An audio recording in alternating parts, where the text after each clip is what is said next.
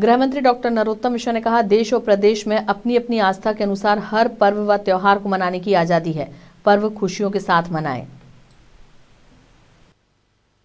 देश और प्रदेश में अपनी अपनी आस्था के अनुसार हर और हर पर्व को, हर त्योहार को मनाने की आज़ादी है। पर्व खुशियों के साथ मनाएँ। हमारी आस्था और धर्म किसी मर्यादा या सीमा का अतिक्रमण न करे। सब लोग सानंद पूर्वक मनाओ।